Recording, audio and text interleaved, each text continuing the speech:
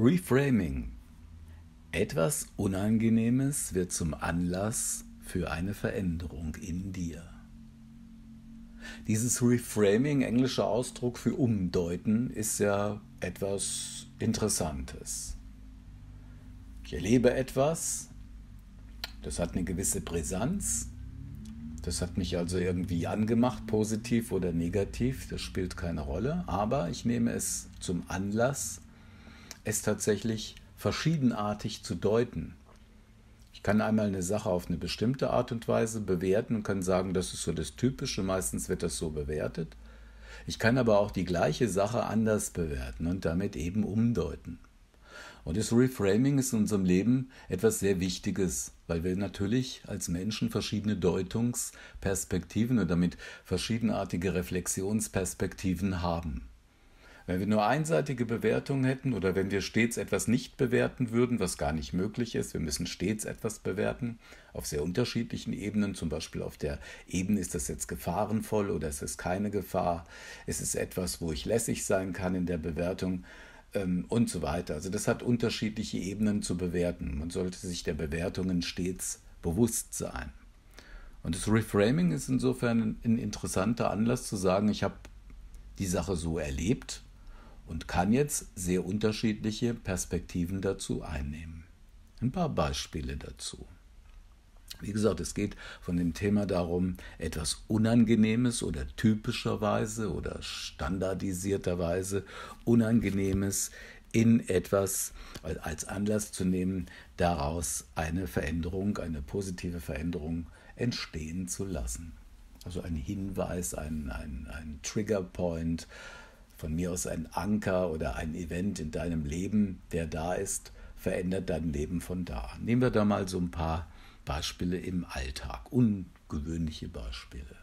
Ein Mann läuft durch die Fußgängerzone, die relativ äh, voll ist. Also da gibt es viele Menschen, die an diesem Tag herumlaufen. Er läuft also über einen offenen Platz und äh, plötzlich schlägt ihm jemand mit der Faust auf den Oberarm. Ziemlich stark, ein starker Faustschlag, nur auf den Oberarm, also auf den Bizeps des Oberarms. Und im nächsten Moment ist dieser Mann schon in der Menge verschwunden und kaum hast du dich, kaum hat er sich umgedreht und äh, kaum hat er sich, also hat sich noch gar nicht empört, er hatte gar keine Zeit dafür, sich zu empören, ist dieser Mensch weg ein plötzlicher Event und der bleibt vielleicht für Augenblicke verdutzt stehen und geht dann weiter. Also so ein Anlass aus heiterem Himmel. Jemand ist da und tatsächlich er berührt dich nicht nur aus Versehen, so, dass man jemand streift oder auch dieses typische Anrempeln. Es gibt ja Leute, die pöbeln einen an und rempeln einen seltsam an, wo man dann in der Regel Zeit hat, sich zu empören und dann entsprechend auch zu wehren und die Maßnahmen zu ergreifen. Nein, es ist ein Mann, ein jüngerer Mann, der aus der Menge aufgetaucht ist, plötzlich vor ihm aufgetaucht ist und ihn mit der Faust einen kräftigen Faustschlag auf den Oberarm gibt. Dieser Mann ist verdutzt darüber und denkt, oh, was ist das denn gewesen? Natürlich irgend so ein Irrer, wie es ja viele Leute gibt, die schräg drauf sind ähm, der da einfach so sein Wesen treibt und sich ausprobiert in so einer Menschenmenge auf belebten öffentlichen Plätzen. Der natürlich auch kalkuliert hat und weiß, es ist nicht eine Gefahr, ehe der irgendjemand zu Hilfe gerufen hat oder sich selber wehrt, bin ich schon weg oder nimm das weit in die Hand und so weiter. Also so reaktionsschnell ist niemand. Deswegen ist es ja durchaus auch ein Problem bei Messerattacken und plötzlichen Angriffen, die passieren, die immer wieder, was immer wieder entstehen kann im Leben. Aber wie gesagt, es hat keine Schäden gehabt, er hat keine blauen Flecke am Oberarm bekommen, keine Schmerzen, also keinen Anlass. So. Und dieser Mann denkt immer wieder an diesen Vorfall zurück und denkt sich, naja, das kann ich eben so sehen, das war so ein Irrer, der mal wieder da sich ausprobiert hat und das war wahrscheinlich nicht das einzige Mal. Und er hat nicht nur mich gemeint, weil ich jetzt, was weiß ich, Brillenträger bin oder weil ich die falsche Hose anhabe oder einfach dämlich aussehe für diesen Menschen, sondern der hat hier seine Art von Sport betrieben. Und wahrscheinlich, wie gesagt, bin ich nicht der Einzige. Also was uns oft hilfreich ist als Menschen ist, dass sowas passiert, dass es fast auch gewöhnlich ist in gewissen Situationen oder unter Le in Lebensumständen, wenn Menschen miteinander sind, dass so etwas geschehen und passieren kann. Das ist schon mal eine ganz wichtige Relativierung. Also, der Mann hat das eben nicht gegen sich gerichtet gesehen. Hätte es jetzt auch vollkommen meinetwegen in paranoider Richtung verarbeiten können, zu sagen, ähm, das war gegen mich gerichtet, ich muss mich vorsehen, das nächste Mal kommt eine Messerattacke. Das nächste Mal muss ich sofort mein Handy rausreißen oder mir eine Pfefferspray-Pistole kaufen oder mich mit einem Messer äh, notwehrmäßig äh, bewaffnen und so weiter. Hat er alles nicht gemacht, weil er da natürlich diese Besonnenheit hatte und diese Besonnenheit entstand. Aber was ich dann sagen möchte, ist, dass er in der Folge, also relativ schnell, ich glaube sogar nach einem Tag, was er mir erzählt hat, oder nach zwei Tagen gedacht hat, oh, das war so ein kräftiger Schlag. Und er hat mir nichts getan. Ich habe keinen blauen Fleck, ich habe keine Schmerzen. Ich habe keinen Schaden daran genommen, außer dass es plötzlich so ein Schlag war, der entstanden ist.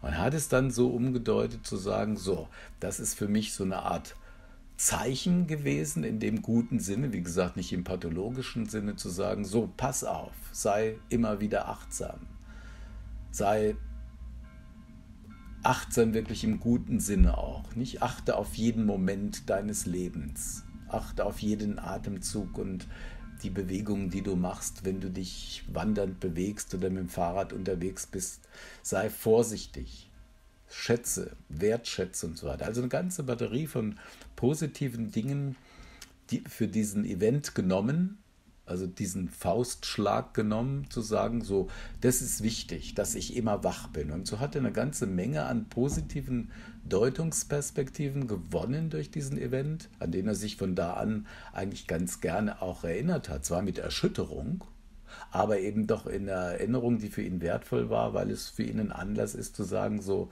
Achtung, diese gewisse Schlürfrigkeit in meinem Leben oder Beliebigkeit oder was auch immer, äh, die möchte ich jetzt nicht beibehalten, sondern ich kann immer wieder so einen, so einen Schlag gebrauchen, so einen guten Schlag gebrauchen, um mein Leben auf die Reihe zu bringen. Und der hat dann berichtet, dass tatsächlich in der Folgezeit, in den nächsten äh, Wochen und in den nächsten Monaten, ähm, anders geworden ist in seinem Alltag. Irgendwie wacher, irgendwie wacher. Also in dem Sinne einfach äh, aufmerksamer, nicht in, in Richtung der Angst oder der Achtung, jetzt könnte mir was passieren, wenn ich da in der Öffentlichkeit bin und mich da irgendwelche Leute schlagen oder Gott weiß das. Also nicht in diesen typischen Katastrophenszenarien, die Menschen natürlich oft entwerfen, sondern sehr positiv verarbeitet.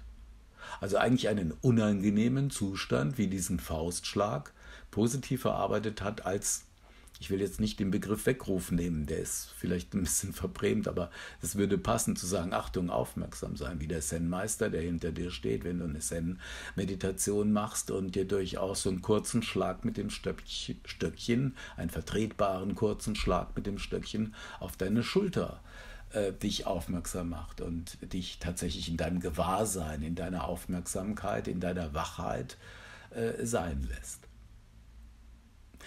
Ein anderes Beispiel, das vielleicht schon anders gelagert ist auch, also das natürlich dann schon vielleicht mehr Forensik mit sich bringt und Problematik in rechtlicher Hinsicht mit, mit sich bringt. Eine Frau ist auch unterwegs in der Stadt und ähm, geht da, ich glaube, mit ihren Kindern, mit ein oder zwei Kindern, die hat also mehrere Kinder und da kommt ein, ein Mann auch wieder aus der Menge, löst sich aus der Menge heraus, auch sehr schnell, eigentlich nicht voraussehbar und damit auch nicht schützbar in dem Sinne. Ist allerdings nur das, was die Frau, ähm, also genauso wie der Mann erzählt hat. Das ist klar, wir müssen dem äh, Glauben schenken als Begleiter, weil wir haben es ja nicht selber miterlebt. Und er tritt ihr in den Hintern. Ein plötzlicher Hinterntritt, der da passiert, und sie auch vollkommen verdutzt, weil da, damit hat sie gar nicht gerechnet. Das sind ungewöhnliche Dinge, die passieren. Und äh, sie geht natürlich, weil sie erschüttert ist, weinend in die Straßenbahn und fährt sofort mit ihren Kindern nach Hause.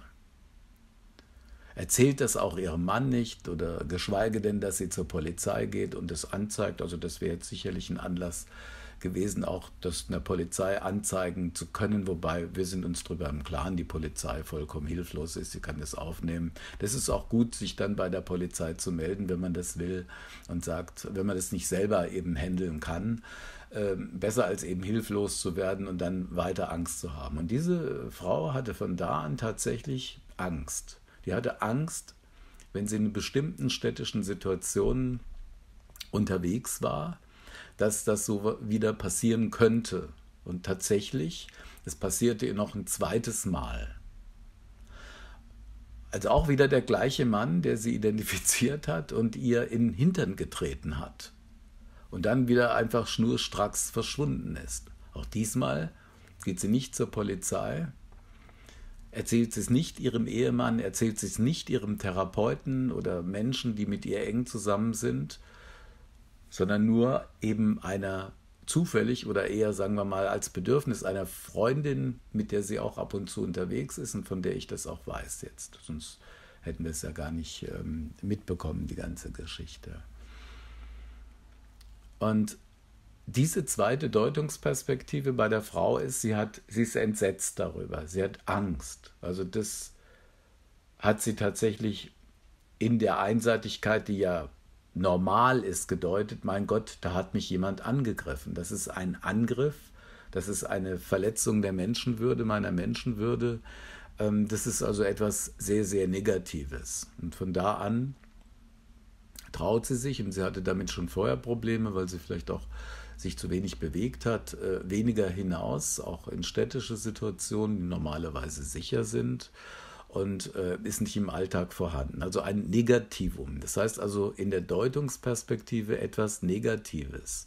In der Verarbeitung, das natürlich dann, darüber sind wir uns im Klaren, zu einer Negativspirale werden kann, wo das immer problematischer wird und so, wo sich dann vielleicht jemand gar nicht mehr äh, äh raustraut in Menschenmengen, weil er immer äh, Angst hat eben, dass dieser Mensch dort lauert. Ein anderer Mensch, der jetzt eine ganz andere Persönlichkeit ist als diese Frau, hätte das vielleicht auch anders verarbeitet. Nun ist natürlich ein Tritt in den Hintern etwas anderes als ein Faustschlag auf den Oberarm. Oder was für seltsame, bizarre Verhaltensweisen einem sonst noch begegnen könnten im Alltag. Ne, es gibt ja Menschen, die bleiben plötzlich vor dir stehen.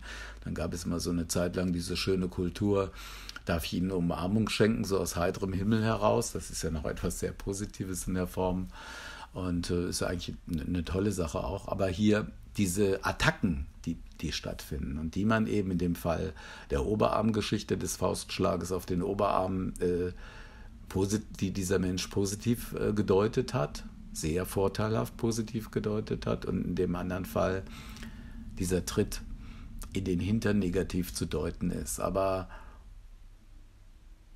wir können ja auch andere Deutungsperspektiven im zweiten Fall einnehmen, wenn wir das versuchen. Und zu sagen, so, das ist ein Mensch, der irgendwo gestört ist, der krank ist und äh, auf die Art und Weise äh, äh, Arschtritte verteilt. Und die ich mir natürlich nicht gefallen lasse. Also eine ganz wichtige Deutungsperspektive ist, wenn mir das ein zweites Mal passiert, dann drehe ich mich um und trete dem vors Knie oder ich mache einen Judo-Kurs oder irgendwas anderes. Also ich wehre mich und diese Notwehr, diese Selbstwehr, diese Eigenwehr ist etwas sehr Wichtiges. Also sich nicht als Opfer zu fühlen. Im ersten Fall, bei dem Faustschlag auf den Oberarm, hat sich dieser Mann nicht als Opfer gefühlt. Im Gegenteil. Es hat ihn wachsen lassen und gestärkt. Im zweiten Fall haben wir die typische Opferkonstellation. Wenn wir als Menschen zum Opfer werden, äh, dann läuft es natürlich auch immer wieder Gefahr, dass wenn wir in der Opferhaltung bleiben in Zukunft, bei ähnlichen Situationen und überhaupt auch im Leben, dann ist das sehr problematisch. Wenn wir aber die, diesen Event umdeuten und sagen, so, ich mache mich jetzt mal auf den Weg, äh, ich wehre mich, ich zeige mich, ich werde mir ein zweites Mal das auf keinen Fall gefallen lassen oder ein weiteres Mal nicht gefallen lassen, dann ist das auch etwas sehr Positives. Und zu sagen, ich drehe das jetzt um, ich habe zwar Angst, dass mir das wieder passiert, aber wenn es mir passiert, fange ich an laut zu schreien oder laufe dem hinterher. Also ich tue etwas. Ich bin tätig. Ich wehre mich als Mensch, ich agiere, ich mache eine Aktion. Und da ist eben auch durchaus eine, eine unwillkürliche Aktion wichtiger als eben die typische Opferhaltung, in der man sich jetzt, wie gesagt, in die Straßenbahn hineinschleicht und dort äh, einfach äh, weinend nach Hause fährt und das mehr oder minder für, mit sich selber ausmacht. Ich will mit diesen beiden Fällen sagen, es sind so typische Alltagsfälle, die immer wieder geschildert werden, auch, dass wir unterschiedliche Positionen einnehmen können und dass wir das letztendlich im Sinne eines Ausgleichs auch deuten müssen und dann eben auch tätig in unserer Verhaltens- und Denkweise verändern können.